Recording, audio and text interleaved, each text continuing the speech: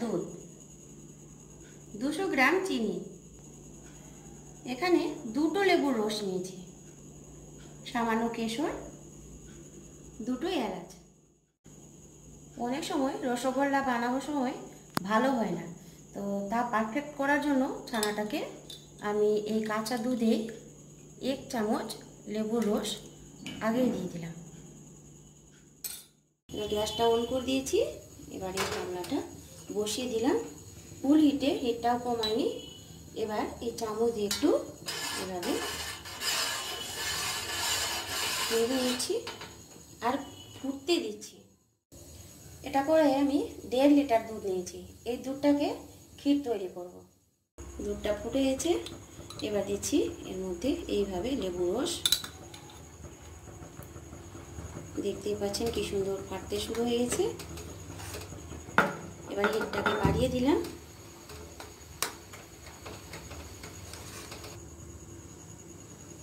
এবার সবগুলো লেবু রস দিয়ে দিচ্ছি।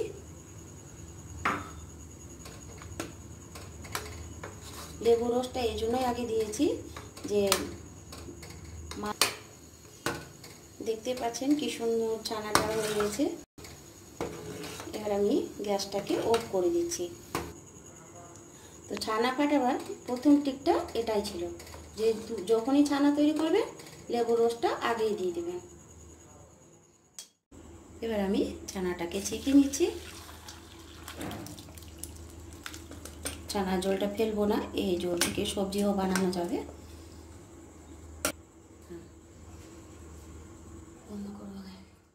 এবার ভালো জল দিয়ে একটু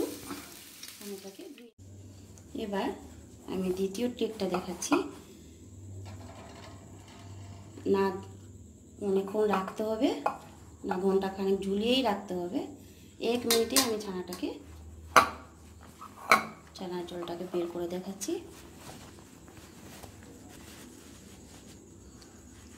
এইভাবে চেপে চেপে আমি জলটা বের করে নিচ্ছি।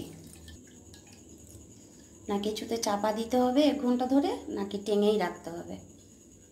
এক মিনিটেই পারফেক্ট আমার রসগোল্লা বানাবার ছানা তৈরি। এটাকে আর রাখব না। এভাবে জল বের করা হয়ে গেছে। এবার ঠিকঠাক ছানার জলটা বেরিয়েছে কিনা দেখিয়ে দিচ্ছি। দেখেন কি সুন্দর জলটা বেরিয়ে গেছে। আর এবার রসগোল্লা খুব সুন্দর হবে। এবার এই ছানাটাকে ভালো করে মেখে নিতে হবে মোটামুটি দশ মিনিট। ছানাটা আমার মাখা হয়ে গেছে। এর মধ্যে ময়দা মেশানো নাই, কিছুই নাই, শুধু ছানা আছে। এবার বুঝবেন কি করে যে আমি পারফেক্ট আমি রসগোল্লাটা ঠিকঠাক বানাতে পারব কি না তো এখানে আমি রসমালাই বানাচ্ছি। আগে আমি রসগোল্লা বানিয়েছি। এবার ছোট ছোট বল করছি। ছোট বড়ও বানাতে পারবেন, আমি এখানে ছোট ছোট বানাচ্ছি। বলগুলো এভাবে বানানো হয়ে গেছে। এবার এটাও দেখাচ্ছি, কি সুন্দর উপর থেকেই ফেলছি। দেখতেই পাচ্ছেন চেপটা টেপটা কিছুই হচ্ছে না। বাকিগুলো এভাবে বানিয়ে নিচ্ছি। সবগুলো বল তৈরি করা হয়ে গেছে। এবার দিচ্ছি এখানে থেতো করা এলাচ। আমি ক্ষীরটা আগেও দেখিয়েছি অনেকবার। এবার দিচ্ছি চিনি। যে যেমন মিষ্টি খায়, নিজের ইচ্ছা মতো ওটা দিবেন দিচ্ছি এর মধ্যে কেশর। এর মধ্যে কেশর দিয়ে দিয়েছি। যদি না থাকে তাও কোনো প্রবলেম নাই। এখানে কালারটা একটু খুব ভালো হবে, তাই জন্যই দিলাম।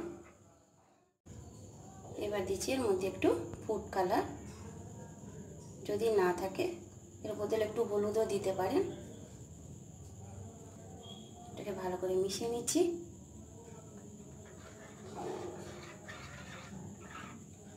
গ্যাসটাকে অফ করে দিলাম। এই কড়াইয়ের মধ্যে দু লিটার জল দিয়েছি। জলটা ফুটে গেছে, এবার এর মধ্যে দিয়েছি একশো গ্রাম চিনি। চিনিটা ভালো করে মিশে গেছে।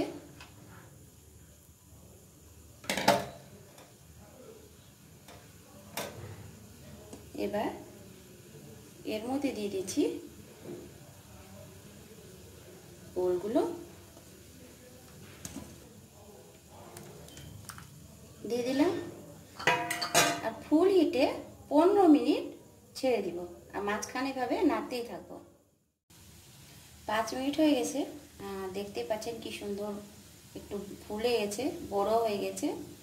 এবার আরও দশ মিনিট ছেড়ে দিচ্ছি। ফুল ফুল হিটেই রাখতে হবে। আর এভাবে মাঝখানে এভাবে নাড়তে থাকবে আর ফুল হিটে ছেড়ে দিতে। কোনো ঢাকনাও ঢাকতে হবে না। পনেরো মিনিট হয়ে গেছে। এবার দেখতেই পাচ্ছেন কি সুন্দর সাইজগুলো, একদম বড় বড় হয়ে গেছে। এবার আমি গ্যাসটাকে অফ করে দিচ্ছি। কিছুক্ষণ রেখে দিচ্ছি ঠান্ডা করতে।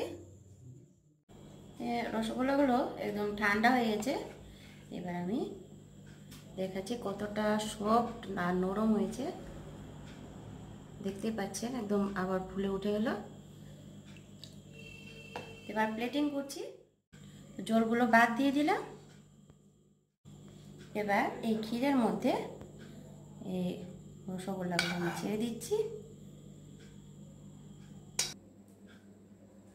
রসমালাই কেশর দিয়ে প্লেটিং করে দিলাম।